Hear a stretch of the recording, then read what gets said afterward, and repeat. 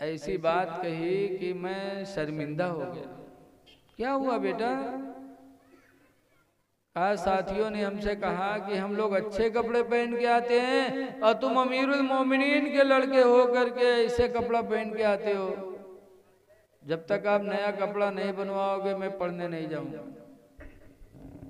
तो हज़रत उमर ने अपने नौकर को बुलाया और नौकर से कहा तुम बैतुल माल चले जाओ। या खादिम बैतुल माल। अय खादिम तुम बैतुल यानी बैंक चले जाओ। वकुल्ल खादिन बैतुल माल। और बैंक के मैनेजर से जाके कह दो वो मेरे नाम पर चार रुपया कर्जा दे। दे। वकुल्लमा यकदी शहरी जब मेरा महीना पूरा होगा तो मेरी तनख्वाह से वो चार रुपया काट लेंगे, ताकि मैं अपने लड़के का कपड़ा बनवा दूँ। ये सहाबा की सादा ज़िंदगी थी। अमीरुल मोमिनीन थे, यानी प्रधानमंत्री पूरी दुनिया के। लेकिन गुर्बत का आलम ये कि चार रुपया घर में नहीं निकला। कहा, जाके बैंक के मैनेजर से कह दो कि वो चार रुपया कर्जा दे दे।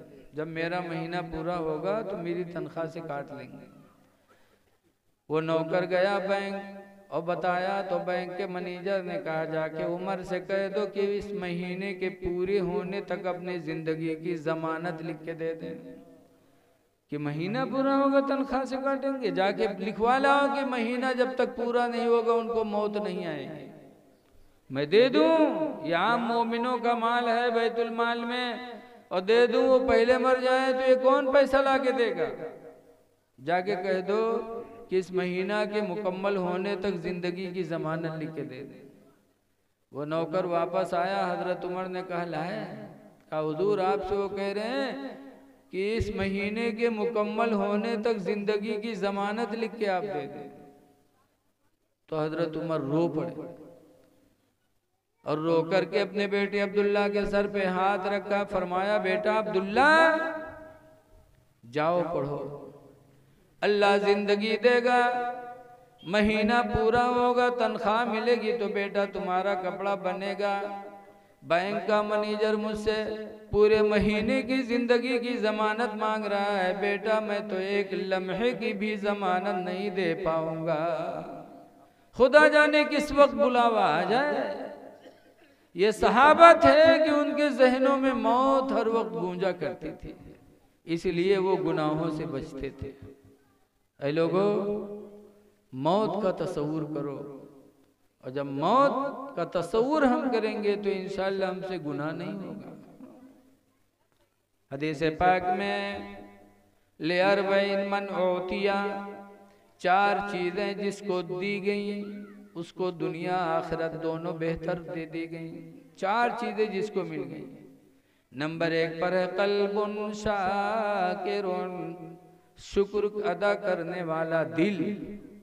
अल्लाह जिसको शुक्र अदा करने वाला दिल दे दे, समझ जाओ उसकी दुनिया भी अच्छी, आखिरत भी अच्छी। शुक्र अदा करो, शुक्र। अल्लाह का शुक्र अदा करो।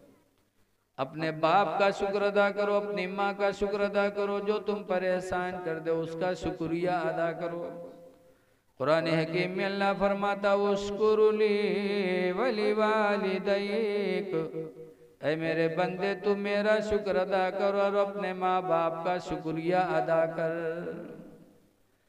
शुक्र अदा करो अपने मोहसिन का। कल्बे शाकिर जिसको मिल जाए, शुक्र अदा करने वाला दिल नबी फरमाते हैं, उसकी दुनिया भी कामयाब है, आखिरत भी कामयाब है। अल्लाह का शुक्र है कि पाँचों टाइम की नमाज़ पढ़ो। और माँ बाप का शुक्रिया है कि उनको खुश रखो, उनकी खिदमत करो। लेकिन आज नहीं हो पाता। मदीने मनवरा के करीब एक मुसलमान थे, बीमार हुए। तो उन्होंने मिन्नत मानी, या अल्लाह मुझे शिफा दे दे तो इन्नी नज़र तो मुकबिला कबतल काबा। कहते, मैंने मिन्नत मानी कि मैं काबा की चौखट चूमूँगा। अल्लाह ने शिफा दे दिया। मिन्नत ऐसी मांगना चाहिए। कभी दो रकात की नियत दो रकात नमाज़ की मिन्नत मान लो, या अल्लाह मेरा फला काम बन जाए बन जाए तो दो रकात नमाज़ नफल पढ़ूँगा।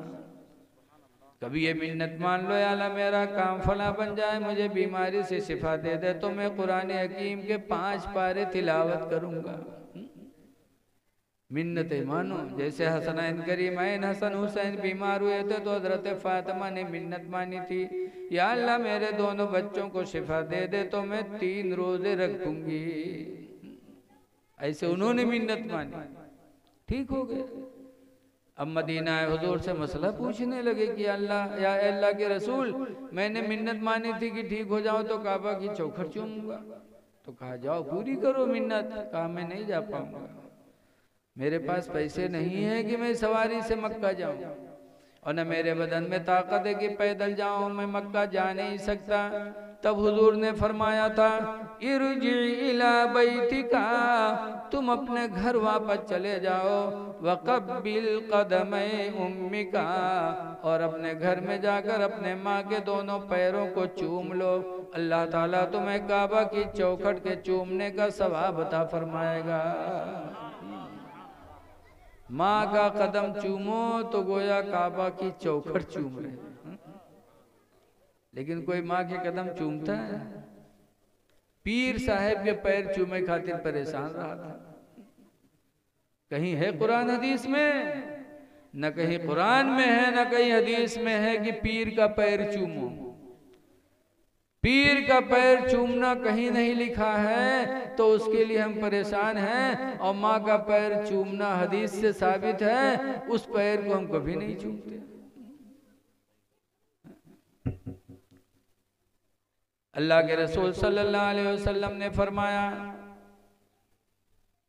इन्ना बन अबवाबुल जन्ना, बेशक बाप तुम्हारा जन्नत के दरवाजों में से एक दरवाज़ा है। उसको राज़ी कर लो, जन्नत तुमको मिल जाए कहीं है हदीस में कि पीर तुम्हारा जन्नती दरवाज़ा है? पीर जन्नत का दरवाज़ा नहीं है। कहीं नहीं लिखा कि पीर तुम्हारा जन्नत का दरवाज़ा है, लेकिन तुम्हारे बाप को अल्लाह के नबी ने फरमाया, वो तुम्हारी जन्नत का दरवाज़ा है। माँ के पैरों के नीचे जन्नत है। हज़रत जाबिर फरमाते मदीने मनवरा से मुजाहिदीन का काफिला निकला। तो फरमाते, मैं नबी करीम की बारगाह में आया, मैंने कहा तशीरु का नगदू या रसूल अल्लाह अल्लाह के रसूल मैं आपसे इजाज़त लेने आया हूँ कि मैं भी अल्लाह की राह में जंग लड़ूँगा। तो सरकार ने फरमाया था